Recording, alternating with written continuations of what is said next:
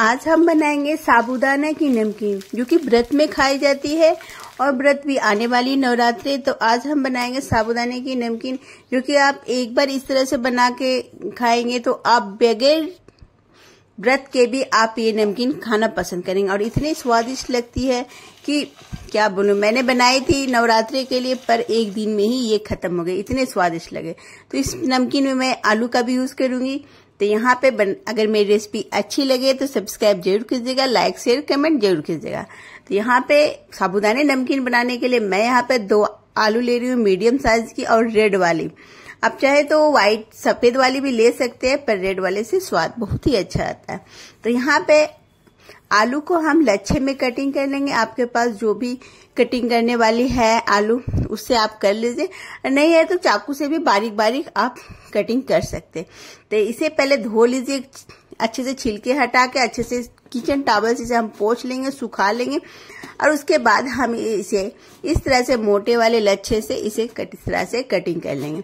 ज़्यादा नहीं आलू डालना है अपनी पसंद से डाल सकते थोड़े पर मैं यहाँ पे दो मीडियम साइज़ के आलू का ही यूज़ करी अभी इस तरह से सारे लच्छे तैयार हो चुके हैं तो कुछ इसमें अलग अलग नहीं हो पाते तो इस तरह से मैं हाथों से अलग कर ले रही हूँ। अब इसे मैं अच्छे से पानी से धो के किचन टावल में इस तरह से पोछ लीजिए, ताकि ये थोड़ा सा इसकी जितनी भी पानी है, जितनी भी मॉइस्चर वो सूख जाए। तो इस तरह से हम इसे करके साइड में रख लेते हैं।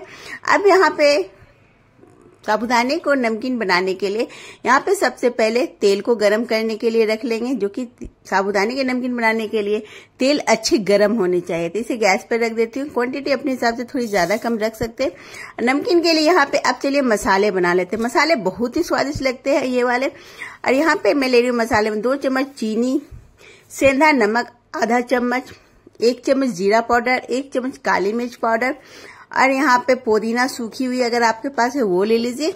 और यहाँ पे साइट्रिक एसिड का यूज़ करिए जो नींबू के फूल होते हैं, वो वाले। अगर आप जो भी चीज़ इस व्रत में नहीं खाना चाहते हैं तो वो स्किप कर सकते हैं। अब सारी चीज़ों को अच्छे से हम पीस लेंगे। तो यहाँ पे देखिए, मैं सेंधा नमक का यूज़ कर रही हूँ। व्रत में जब भी आप बनाएँ तो सेंधा नमक का यूज़ किया और यहाँ पे नमकीन बनाने के लिए जो बड़े वाले साबुदाना मार्केट में आते हैं, जो बहुत ही इजीली किसी भी किराने दुकान में आपको मिल जाएगी तो यहाँ पे एक कप के करीब मैं ली थी, पर आधे मैंने इसे बनाया क्योंकि काफ़ी ज़्यादा आधा में ही हो गई तो ये ढाई सौ ग्राम सौ ग्राम के करीब मैं निकाली थी तो सौ ग्राम भी मैं नहीं बनाई थी, सौ ग्राम से भी कम है। तो तेल को हाई गरम रखिएगा और यहाँ पे जब हम साबुदाने को जितना इसमें आ सके तेल में उतना डालिएगा।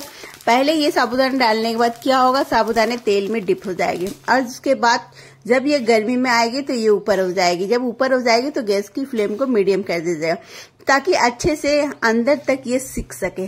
अगर हम हाई फ्लेम में इसे इस तरह से फ्राई करेंगे तो क्या होगा? अंदर तक सीखेगी नहीं।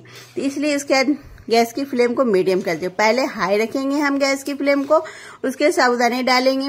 क्वांटिटी अपने हिसाब से तेल जितना आप ले रहे हैं फ्राई करने के लिए, उसके हिसाब से ही डालिएगा। ज़्यादा डालने से क्या होगा, अच्छे से ये फूलेगी नहीं और अंदर तक सीखेगी नहीं। इसलिए तेल के हिसाब से ही क्वांटिटी डालना है आपको साबुदाने की। अब ये देखिए कितने जो फूली फूली साबुदाना बन गई है। ये देखिए, इसे हम निकाल लेंगे। टिश्यू पेपर में ताकि जो भी एक्स्ट्रा ऑयल इसके है, वो एब्जॉर्ब हो जाए। ये अच्छी तरह से अंदर तक सीख गई है। तो आपको इसी तरह से करना है। तो जितने भी साबुदाना के आपको बनाना है, उतना आप पहले फ्राई कर लीजिए। तो यहाँ पे मैं और भी फ्राई कर रही हूँ। यहाँ पे ये ये मेरी मेज़रमेंट कप के हिसाब से जो भी ले रही हूँ उसे हाफ़ कप ही मैं यहाँ पे फ्राई की थी, एक कप निकाली थी, पर इतने ज़्यादा हो जाते हैं, ज़्यादा की जैसे कि हमने लिया एक कप तो फ्राई होके चार कप बन जाती है। तो ये डबल तिबल इसकी क्वांटिटी बढ़ जाती है। तो यहाँ पे मैं जब तेल में डालेंगे तो बहुत ही ज़्यादा थोड़ा सा ऑयल को, ऑयल निकलती है कढ़ाई से तो थोड़ा सा हाथों को बचाते हुए हमें इसे फ्राई करना है। और इस तरह से झाड़ा में हम निकाल लेंगे, जब ये अच्छे से फूल जाएगी तो इसे निकाल लीजिए। और एक्स्ट्रा ऑयल उसी में कढ़ाई में डाल लेंगे और फिर टिश्यू पेपर में हम डाल के जो भी एक्स्ट्रा ऑयल है, उसे हम एब्जॉर्ब कर लेंगे। तो इसी तरह से दो तीन बैच में हम फ्राई कर लेंगे जितने भी आपको फ्राई करने हैं। ये देखिए इस तरह से। मैं यहाँ पे तीन बैच में फ्राई की हूँ तो हाफ़ कप ही है और यहाँ पे हाफ़ कप तीन कप के करीब ये तैयार हो चुकी है। फ्राई होने के बाद जो कि इसकी क्वांटिटी काफ़ी ज़्यादा बढ़ जाती है। मान के चले तो तीन कप से भी ज़्यादा ये हमारी हो चुकी है। अब यहाँ पे नमकीन बनाने के लिए यहाँ पे ले रही हूँ मैं मूंगफली। यहाँ पे आधा कप के करीब मैं यहाँ पे मूंगफली का यूज़ की किसी चीज़ की भी क्वांटिटी आप कम ज़्यादा कर सकते हैं अपने पसंद से। तो यहाँ पे मूंगफली को मैं झाड़ा में डाल के फ्राई करें ताकि मूंगफली बहुत ही जल्दी सीख जाती है और इस तरह से फ्राई करने से निकालना इजी हो जाता है। नहीं तो निकालने में क्या होता है? देर होती है तो मूंगफली ज़्यादा डार्क हो जाती है क्योंकि मूंगफली को पकने में ज़्यादा टाइम नहीं लगती है और ये निकालने के बाद भी सीखती रहती है। तो इस तरह से सुनहरा कलर आने तक हम कर लेंगे। अब यहाँ पे ले रही हूँ कुछ काजू।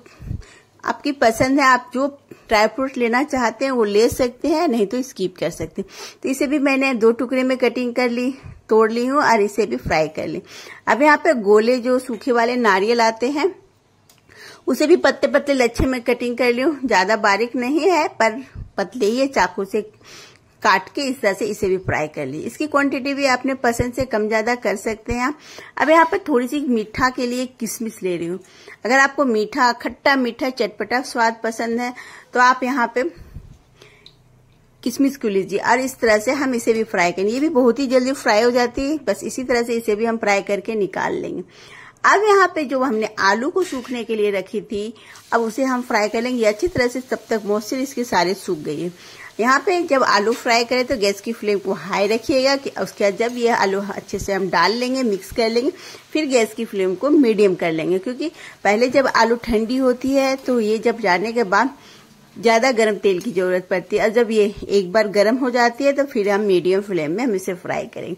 बहुत ही क्रिस्पी आलू तैयार होती है तो इसी तरह से थोड़ी थोड़ी क्वांटिटी में यहाँ पे मैं फ्राई की हूँ। तो दो तीन बैच में इस तरह से फ्राई कर लेंगे हम, और सारे आलू को हम सेम चीज़ में कट्टा किसी भी बड़ी बर्तन में हम इसमें डालते जाएँगे। अब यहाँ पे ले रही हूँ, इसमें बहुत ही स्वादिष्ट लगने वाली जो चीज़ होती है, वो है कड़ी पत्ता। कड़ी पत्ता की क्वांटिटी जितना आपको स्वाद पसंद है, उतना डाल सकते हैं। और कड़ी पत्ता का स्वाद इस नमकीन में बहुत ही स्वादिष्ट लगती है। अगर आप व्रत में कड़ी पत्ता खा, नहीं खाते हैं तो आप स्कीप कर सकते हैं इसे। और खाते हैं तो इसे डाल सकते हैं।